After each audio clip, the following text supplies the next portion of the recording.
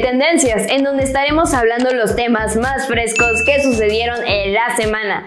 Así que sin más que decirles, Comencemos. A todos nos pasa que cuando compramos ropa nos imaginamos cómo nos quedaría. Sin embargo, muchas veces los maniquís tienen medidas que muy poca gente puede tener. Pero en China han implementado caminatas con modelos.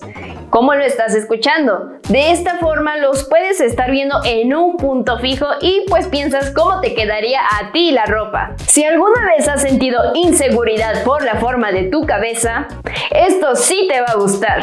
Pues una nueva técnica china ha venido a inundar las redes sociales. Consta en poner una cáscara de melón en la cabeza y posterior a ello hacerte un chongo. De esta forma tendrás una cabeza más grande y redondita. Cuéntame, ¿lo usarías?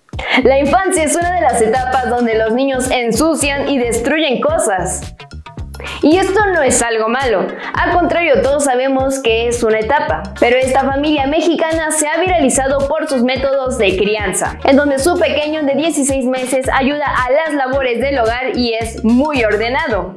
¿Ustedes creen que esto es posible o solo es una muy buena producción para sus videos?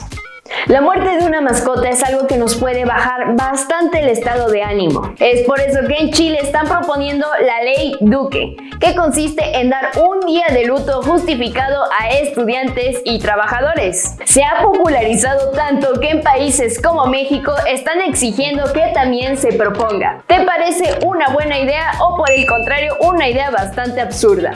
Es así que hemos llegado con el final, no sin antes recordarte claro que nos sigas en todas nuestras sociales. De esta manera te mantienes súper actualizado con los nuevos temas que van saliendo en la semana. Hasta entonces yo soy Lorena Rojas y esto fue Tendencias.